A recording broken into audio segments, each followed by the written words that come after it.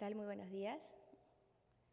Eh, mi nombre es Claudia Solano, soy coordinadora del Departamento de Gestión de Calidad en PROMPERÚ, dentro de la Dirección de Exportaciones. Y de hecho soy la tercera y la última para poder exponer en este, en este bloque tan, tan interesante sobre lo que significan las oportunidades comerciales para este bloque llamado EFTA. Mis compañeras ya les han hablado de varios, de varios aspectos bastante relevantes y lo que creo que voy a hacer es más que complementar algo de la información sobre los requisitos muy particulares que podrían tener algunos, algunos productos. Ya sabemos entonces quiénes forman el EFTA, ¿no? qué países, que son cuatro, tenemos claro dónde están ubicados, tenemos claro cuáles son las oportunidades comerciales, qué es lo que le están comprando al país, qué es lo que más están demandando, cuál es el perfil del consumidor, ¿no? E inclusive también hemos recibido la información de Carol en relación a cómo se debe manejar toda la logística, ¿no? algo de costos, tiempos, para tomar en consideración al momento de decidir qué producto vamos a exportar. Ahora yo les voy a hablar un poquito más, eh, si bien Carol lo abordó, voy a incorporar un poquito más de información sobre estos requisitos particulares que, puedan tener, que pueden tener los, los productos del ser exportados a estos países. Bueno, y seguramente lo han dicho en las dos presentaciones anteriores, es una comunidad económica regional, no pertenecen a la comunidad europea, es un bloque diferente, está conformado por Noruega, Liechtenstein, Suiza e Islandia. Sin embargo, sí, los países miembros del EFTA, por estar ubicados en Europa, también forman parte de un espacio económico europeo, que de manera abreviada es el EEE. E. Y ¿Qué significa el ser parte de este espacio económico europeo? Que ellos comparten también y reconocen eh, ciertas normativas que tiene la Unión Europea. Entonces, se van a dar varios casos en los cuales la normativa que está establecida en la Unión Europea también aplica para varios de estos países miembros de la EFTA. Entonces tenemos que tener mucho cuidado. Inclusive, eh, hasta en el caso de los reportes de rechazos de embarques o detenciones de embarques por incumplimiento de alguna regulación que tiene la, Unión Europea denominado sistema RASF, que es un reporte de alertas de alimentos y piensos rechazados, también incluye los rechazos que puedan ser detectados en estos cuatro países miembros del EFTA. Entonces, esto como parte del poder también, estando en un mismo, en un mismo continente, poder bloquear o proteger sus barreras, eh, sus, su, poder proteger sus países frente a incumplimientos eh, normativos, regulatorios, pues que impliquen al, final, eh, en el caso de los alimentos, por ejemplo, o causen algún daño a la salud ¿no? de las personas. ¿Qué tenemos aquí? Bueno, este bloque del EFTA tiene 20 ya tratados de libre comercio negociados con 28 países, uno de ellos es el nuestro, por supuesto y podemos ver su ubicación. ¿no? Carol les comentaba, eh, naturalmente y particularmente con Suiza y Liechtenstein, no tienen salida al mar. ¿no? Entonces la, la logística eh, se vuelve un, un, poquito más compleja. ¿no? Este, entonces hay que tomar las consideraciones del caso porque no va a ser un, único transporte, digamos, la vía de, de, de llegar, la forma en que se va a enviar la carga. ¿no? Necesariamente podría ser un marítimo, eh, sumado con un, terrestre o un aéreo, que, podría ser bastante costoso dependiendo del producto. Entonces tendrían que evaluarlo. Noruega, Islandia, bueno, Islandia está bastante alejado. Este espacio económico europeo que les mencionaba, que tienen, que tienen en realidad tres países, o sea, el único que no es parte de este espacio económico es Suiza, eh, tiene por objeto reforzar las relaciones económicas y comerciales de este, de este bloque con la Comunidad Europea. Se extiende parcialmente a cuatro libertades, a lo que han negociado, lo que de alguna manera comparten, es en relación a lo que es mercancías, personas, servicios y capitales. No constituye un mercado sin fronteras ni una unión aduanera, eh, y el acuerdo no es aplicable a productos agrícolas y pesqueros, estos, ya que estos han sido negociados, inclusive con estos países del EFTA, eh, con acuerdos específicos. En el caso de Islandia, eh, uno de sus principales productos de comercio, bueno, la principal producción que pueden tener es la producción pesquera, ¿no? Lo mismo Noruega también tiene un sector pesquero bastante, bastante fuerte. Entonces, e, este, este tema eh, pesquero o el agrícola, en el caso, de, en el caso también de, de estos países sumados con Suiza y Liechtenstein, han sido ya negociados de una manera específica. ¿Y qué significa? Que podrían, podrían tener ciertas cuotas de importación o algunos requisitos muy particulares. Los requisitos de importación en general los comentó eh, Carol Flores, ¿no? el control de aduanas con toda la documentación respectiva, el certificado de origen que es muy importante eh, y que lo pueden gestionar principalmente en las cámaras de comercio. Una un posible control y verificación del origen, como en todos los países, no se hace una verificación física al 100%, sino aleatoria, dependiendo de la, del producto que vayas a enviar e inclusive algunos países eh, miembros de la EFTA, y lo vamos a ver más adelante, eh, solicitan que se notifique previamente la carga que se va a enviar con la finalidad de que ellos decidan si se va a requerir de inspección o no. ¿no? Entonces, esto también lo tenemos que tomar en consideración. Los requisitos establecidos por la Unión Europea, como les mencionaba, por ser miembros de, la, de este espacio económico europeo, y eh, al igual que la mayor parte de los países en el mundo, existe un reconocimiento a los acuerdos internacionales establecidos en la Organización Mundial del Comercio, como miembros que son. Y, en el caso de, eh, eh, particular del Acuerdo de Medidas Sanitarias y Fitosanitarias para Alimentos y Obstáculos Técnicos al Comercio para otros productos. En relación a Suiza, a ver algunas particularidades. Bueno, el, arancel en realidad está armonizado con el, le llaman TARIC europeo, y, significa que en realidad es el, código armonizado internacional. Los seis primeros dígitos son iguales al código eh, eh, internacional y los, tanto el séptimo y el octavo dígito tienen una subdivisión propia, ¿no? o sea, tiene alguna particularidad, entonces hay que revisar exactamente cuál es la partida arancelaria para, para ese país. Aplica los derechos de aduana sobre el peso bruto a diferencia del sistema eh, sobre el valor, ¿no? como nosotros lo manejamos, ¿no? sino esto es sobre la base del peso bruto, incluido pues, el peso de lo que significa el, el embalaje y el envase. El, este es un promedio muy general, de hecho hay que, eh, habría que revisar la partida arancelaria particular, pero se dice que el promedio de arancel para ese país está alrededor del 6,5% los principales eh, productos que estamos exportando, de hecho, ingresan con arancel cero, entre ellos el mango, el espárrago, los, tops de pelo de alpaca y la goma de tara. Todos estos productos hoy están ingresando con, con arancel cero a Suiza. Entonces, no nos tendríamos que preocupar en este caso tanto por, por, por el arancel, sino más bien por los requisitos particulares que pueda tener eh, si, es que es un, si es que es un alimento, si es que es un textil. ¿no? En el caso de ser un alimento, si, va si es fresco, necesitaría un certificado fitosanitario y para eso siempre recomendamos revisar la página web del SENASA que precisa detalles sobre lo que debe contener este certificado fitosanitario. Para el caso de Suiza, no, no, no se tiene ningún producto fresco eh, le están exigiendo algún tratamiento cuarentenario particular eh, que complemente, o sea, que sea parte del certificado fitosanitario. Eh, sin embargo, sí la gestión convencional del certificado fitosanitario se tiene que dar, ¿no? que es la inspección tanto en el campo, la inspección en el packing, hasta, hasta la inspección antes de la salida del producto, que termina con el, el cerrar los precintos de seguridad del contenedor, ¿no? que no deben de ser abiertos por nada del mundo hasta que llegue al país de destino. El sanitario en el caso de los productos procesados, que se gestiona dependiendo de, si es un producto pesquero en el Servicio Nacional de Sanidad Pesquera, SANIPES, o si es de los otros alimentos procesados en DIGESA, en la Dirección General de Salud Ambiental. Los estándares de Suiza son iguales a los de la Unión Europea, que hay un reconocimiento a sus normativas con, una excepción que, sí hay que tomar bastante en consideración para el caso de los alimentos frescos, que son los límites máximos de residuos de pesticidas. ¿no? Eh, eh, que de hecho, este es, eh, cuando uno va a exportar alimentos frescos, este es uno de los requisitos más importantes que tienes que tomar en consideración, porque no todos los países tienen los mismos pesticidas autorizados para aplicar al cultivo, ni los mismos límites. Entonces, aquí sí, eh, Suiza particularmente tiene, eh, tiene algunos pesticidas diferentes a los de la Unión Europea.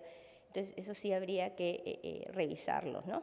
y donde se contempla mayor información sobre este listado de pesticidas en el link que ustedes pueden apreciar en la parte inferior de esta presentación, que, se, que va a estar disponible para todos ustedes a través del portal CISEX. Entiendo que a partir de mañana podrían complementar la búsqueda particularizando sobre el, el alimento fresco que, les, que sea de su interés. ¿no? La regulación de alimentos, etiquetado y empaque es igual a la de la Unión Europea, como les decía, con excepción de los límites máximos. ¿no? En el etiquetado, y lo mencionó Carol, también el tema del idioma, ¿no? particularmente para Suiza, eh, se debe precisar el nombre del productor en alemán, francés o italiano. O sea, uno podría pensar que el inglés, que es el idioma internacional, podría ser considerado en esta etiqueta, ¿no? pero la particularidad de Suiza es que debe estar el etiquetado en alemán, francés o italiano. Otro idioma pues podría significar un rechazo del, producto. País de origen, fecha de vencimiento, entre otros que ya están normados en la eh, normativa de la Unión Europea. En Suiza se prohíbe la importación, exportación y tránsito de ciertos bienes y productos que son las mercancías prohibidas, pero igual están también en este mayor detalle en, este, estos links. ¿Qué tenemos en relación a, Noruega? Eh, al igual para el caso de los alimentos certificados sanitarios, fitosanitario, eh, para el caso de los textiles, la normativa europea sobre etiquetado, sobre límites máximos que podría tener de metales, dependiendo del, tipo de prenda que pueda darse, e inclusive también si es para niños, porque hay normativa para el caso de las prendas de vestir que van a ser usadas por niños, ¿no? o los juguetes, que no es un segmento en el cual eh, eh, eh, seamos aún muy representativos, pero se exportan, sí se exportan ciertas artesanías que están dirigidas a este, a este segmento de mercado y hay que tener mucho cuidado con los, con los límites máximos de ciertos metales que podrían tener estos, estos juguetes, ¿no? ¿Por qué? Porque los niños normalmente no solo juegan, ¿no? sino suelen este, solo a la boca, ¿no? Entonces este, los químicos que podría tener eh, tendrían que estar autorizados, ¿no? Y dentro de los límites permisibles, por supuesto. Los productos deben estar etiquetados, y aquí una precisión también, en noruego, sueco o danés. ¿no? Nuevamente tienen una, una, especificación muy particular para lo que es eh, eh, en qué idioma debes etiquetar el producto. Noruega reconoce, sí, a diferencia de Suiza, los límites máximos de residuos que tiene la Unión Europea. Y para esto ya la búsqueda nos hace muy compleja, porque sí la Unión Europea tiene una página web a la que ustedes pueden acceder a través de nuestro portal CISEX, dentro, de, dentro del, menú principal en la opción regulaciones, donde eh, tanto por país como por producto simplemente es una búsqueda bastante sencilla, seleccionan país, producto y le sale toda la lista de los, de los pesticidas autorizados y los límites máximos de residuos que puede tener el, alimento. Todos los embarques de terceros países, es decir, que no estén ni en la EFTA ni en la Unión Europea, deben ser notificados, para el caso de Noruega, a la Norway Food Safety Authority, que es la autoridad sanitaria noruega, ¿no? la autoridad sanitaria, 24 horas antes de la llegada de la carga. Y ciertas frutas y hortalizas están exentas, eh, eh, sin embargo, en el caso de nuestros productos, sí todos deben ser, por lo que revisan la lista, eh, notificados 24 horas antes de la llegada de la carga a Noruega. Para el caso de exportación de productos de origen animal, se deberá notificar inclusive vía un programa, un sistema que se llama Traces en, en, Europa, y para productos de origen no animal a través de un sistema que es está en noruego, pero eh, te, lleva a una información donde tienes que notificar efectivamente la carga y te dirige a la página web de la autoridad sanitaria noruega, ¿no? a este Norway Food Safety Authority que les mencionaba. Islandia, nos vamos más, más al norte.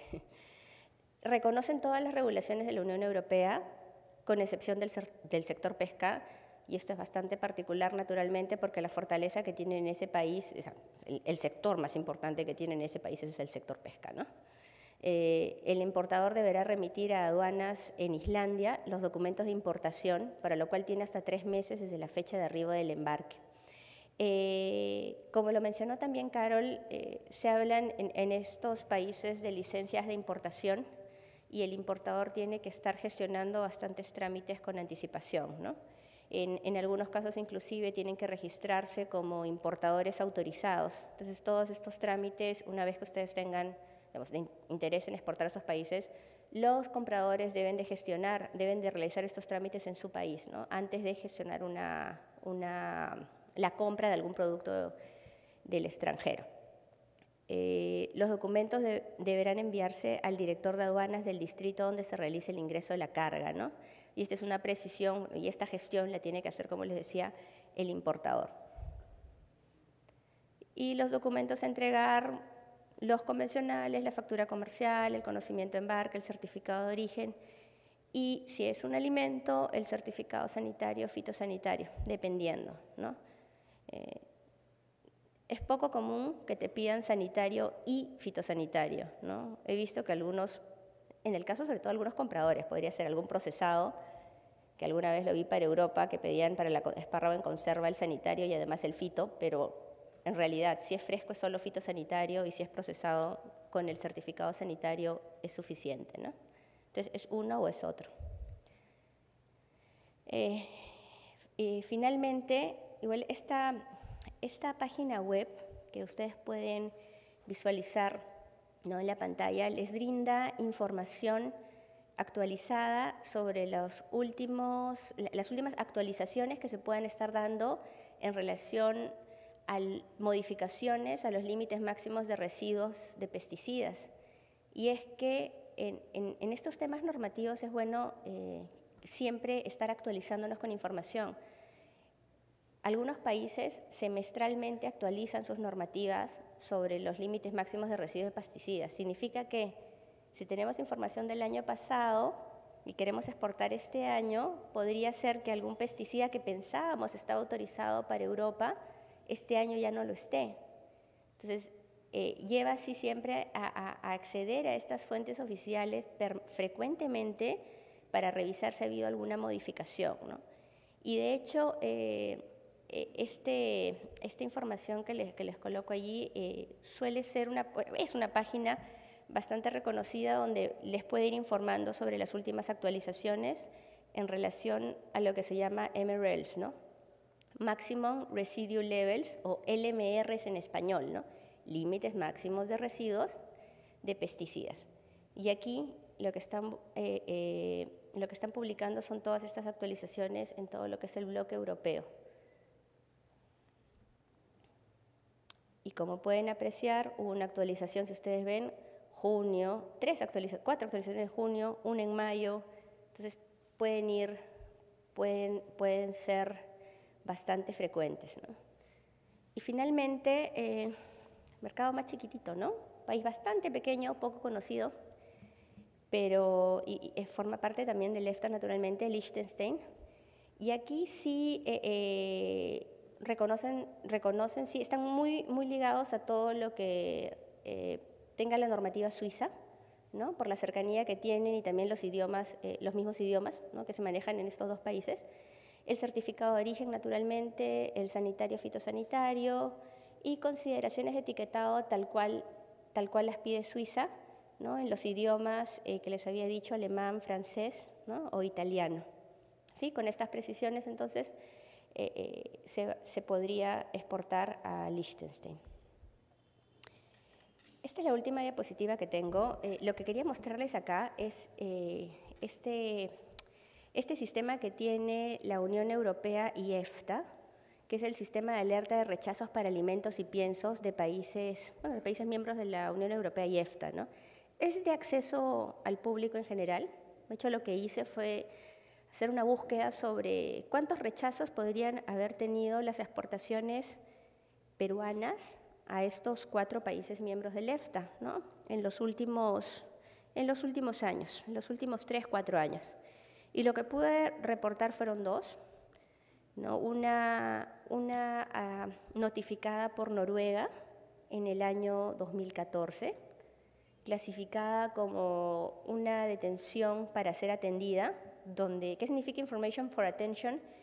que han detectado algo en ese mismo país eh, y que requiere mayor información porque consideran que algo no se está cumpliendo. ¿no? lo que se menciona en el asunto es una sustancia prohibida, ¿no? hexaclorobenceno, por encima del límite permitido. Entonces, por eso le decía, los límites máximos de residuos es importante eh, tenerlos siempre en consideración. En harina de pescado de Perú, que llegó a través de Alemania. ¿Ya? Eh, está en la categoría de alimentos para animales, ¿no? piensos. Y aquí estaban evaluando, y cuando se ya se ve el detalle, pues hicieron unas contramuestras para verificar en destino, con métodos ¿no? de ensayo acreditados a nivel internacional, para determinar o esclarecer si efectivamente se eh, excedían los límites, ¿no? de acuerdo a la normativa que ya tienen en Europa. Y esta sí es una alerta, y una alerta si es eh, Risk Decision Serious, muchas veces implica la incineración de la carga cuando ya está considerado como una alerta seria, porque serio significa que ya no es apto para el consumo humano. Entonces, este tipo de, este tipo de incumplimientos no son ni siquiera sujetos a una reexportación, porque ya es, el producto puede causar daño a la salud de las personas.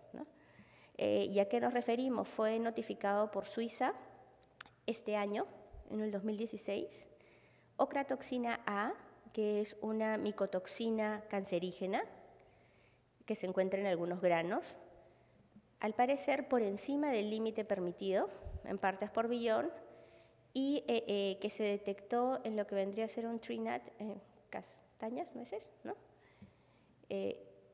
en harinas de Perú a través, que vino a través de España. Naturalmente, como decía Carol, ¿no? inclusive también no es que llega directamente de Perú, ¿no? sino normalmente ingresa a través de otros países. ¿no? Pero igual cuando se hace la trazabilidad se detecta el origen, ¿no? y el origen de ese producto era Perú está en la categoría de hierbas y especies y eh, ha sido considerado como un, rechazo serio, grave. ¿no? Entonces, eh, ¿por, qué les pongo esto aquí, aquí al final? Porque es importante cumplir todas las normativas que pueden establecer los países, tanto los países de destino al que pretendemos exportar y el país de origen, porque no podemos desligarnos también de nuestras normativas nacionales. Entonces, tenemos dos elementos, cumplir la normativa nacional más la que nos pide el mercado de destino, para no tener inconvenientes de detenciones o rechazos, porque al final esto causa un daño a la imagen de ustedes como empresa, un daño a la imagen del país, serios daños económicos, posiblemente sobre todo para los que comenzamos con algún emprendimiento, ¿no? Entonces puede ser que hagamos algún eh, eh, tengamos algún crédito, que es lo que comúnmente se, podría hacer, y que luego, imagínense, termine en un rechazo considerado serio y que implique una incineración de la carga, pues obviamente eh, son, son ligas mayores, ¿no? Entonces tenemos que tomar previamente en conocimiento esta información para cumplirla y evitar estas detenciones o rechazos. Recuerden también que esta información que yo, les, que yo les he brindado sobre los requisitos no son obstáculos al comercio, sino son normativas establecidas con una finalidad, que es proteger la seguridad de las personas, proteger la salud de las personas. Entonces tienen que ser cumplidas de manera obligatoria. Ahora, si adicionalmente el consumidor o el cliente suyo les puede pedir que tenga cierta presentación, que tenga un empaque ideal, que tenga cierto color, que venga con un lacito, etcétera, ya son requisitos complementarios de calidad, ¿no? Pero eh, esta parte normativa obligatoria que puede causar daño a las personas, esta sí no es negociable. ¿no? Este, este, tipo, este tipo de requisitos sí deben de ser cumplidos por todos aquellos que quieren exportar sus, este, cualquier tipo de bien. Entonces, hasta ahí mi presentación y creo que va a haber un bloque de preguntas. Muchas gracias.